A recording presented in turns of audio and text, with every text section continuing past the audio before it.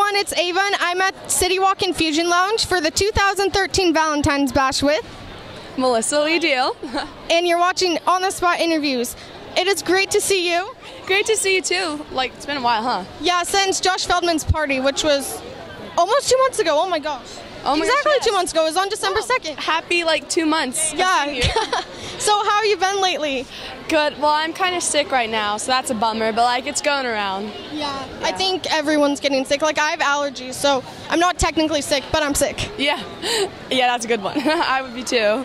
Yeah, I wish I could call these allergies, but they're not. They're not. Well, the show must go on, right? Exactly. The show must go on. What um songs are you performing? I'm going to be performing Payphone. I'm going to be performing Red by Taylor Swift, and also Someone Like You by Adele.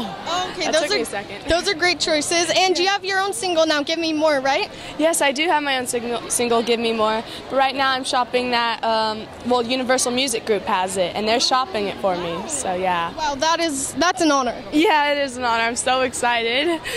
Well, to keep in touch with your music and your dancing as well, do you have a Twitter, Facebook fan page, and YouTube and Instagram? Yes, I do. All of that is Melissa Lee Diehl. You can find me everywhere on that YouTube, Facebook, Twitter. You can see my events next weekend, um, Saturday and Sunday.